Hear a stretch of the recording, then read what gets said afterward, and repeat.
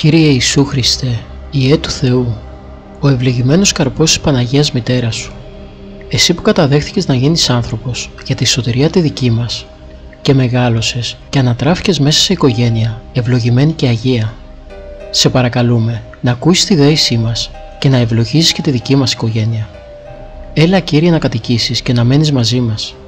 Επιθυμούμε και σε παρακαλούμε να γίνεις εσύ ο κηδεμόνας και ο σύντροφός μας, ο καλός μας σύμβουλος και διδάσκαλος, ο παντοδύναμος προστάτης και βοηθός και ιατρός των ασθενειών μας.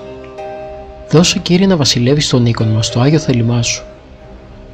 Χάρισέ μας την ομόνια, την ειρήνη, την αγάπη, την αμοιβαία ανοχή και μακροθυμία, την ενότητα, την υπομονή και κάθε άλλη αρετή.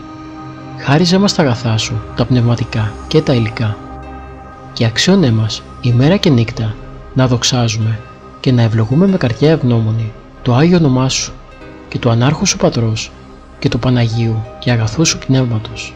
Αμήν.